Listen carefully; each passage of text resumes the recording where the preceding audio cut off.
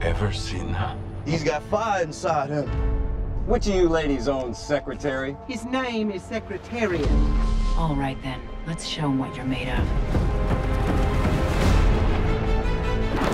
What do you think? He eats too much. He lays against the back of that starting gate like he's in the Caribbean.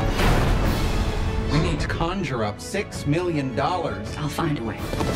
Horse racing is unforgiving for housewives. It's like every other multi-million dollar gamble we housewives make every day. You're guaranteeing that this horse is going to win the Triple Crown.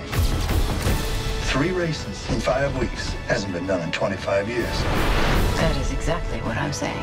You're that stubborn. I'm that right. This is about life being ahead of you, and you run at it. You're about to see something that you've never seen before. Secretariat.